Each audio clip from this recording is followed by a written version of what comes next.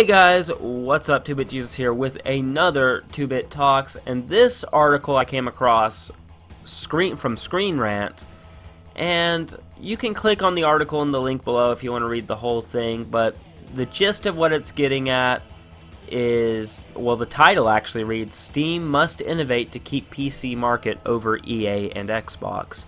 And it is an interesting thing. What I like about it, and I'm just going to get into my thoughts about it, really. I'm not going to go into detail about what the article's saying. The article just made me think about the subject, and that is that uh, you know, let's let's take a step back. Let's take a step step back five years ago.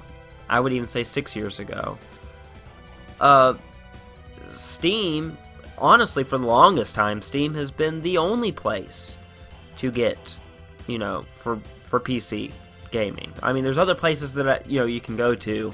There's other alternatives uh, EA Origin is not one of them, of course. But then you got Microsoft making a huge push. You got the Game Pass is coming over to PC.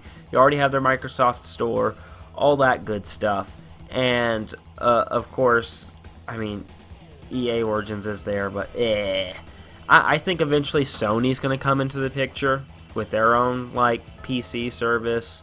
Uh, so there, there's a lot more comp. I think you can argue that there is a lot more competition today than there was six years ago.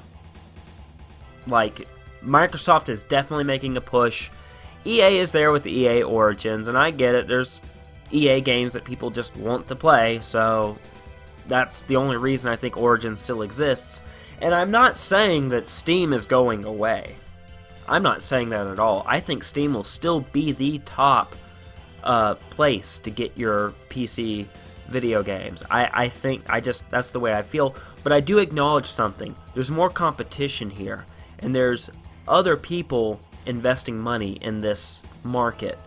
And Steam needs to realize that and not rest on their laurels. And they kind of do need to. And I think that's what this article is kind of saying is that they do need to, you know, step up. They don't they, they don't need to just rest on their laurels and just let their competition build and build and build. And I think Steam is going to do that.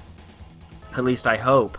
Um, you, you know what would be awesome? Valve releasing more games. You know, more of your games. Maybe a Half-Life 3, maybe a Left 4 Dead 3. I know you guys don't like 3s, but if you release that, that's of course going to be exclusive to Steam. That's the only place you'd be able to get it you know, that's something you could do to help, you know, keep that, you know, people on Steam. In my opinion, you know, that that's something that's cool. But Steam's not in any danger right now.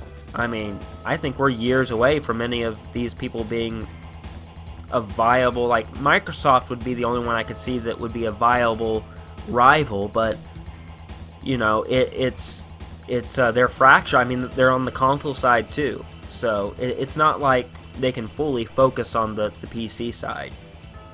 So yeah, I just think I just think that uh, Steam is kind of resting on their laurels, and uh, they they should at least acknowledge, hey, there's more people coming into the market, and welcome that competition, but also don't just sit there and go, oh, we're the best. You know, the competition can come in, but we're the best, and we're not going to do anything to to try to entice people to stay with us. I, I think you should always strive. You know, even if you're on top, always think that hey, we could be at the bottom at any moment, and you know we need to get more. I, I really just want Half-Life 3.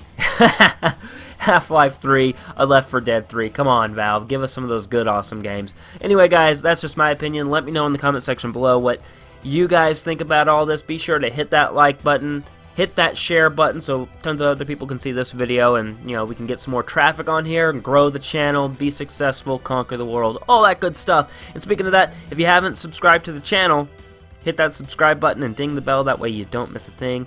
As always folks I am the holiest of all YouTubers 2-Bit Jesus. And I am saying stay safe and play on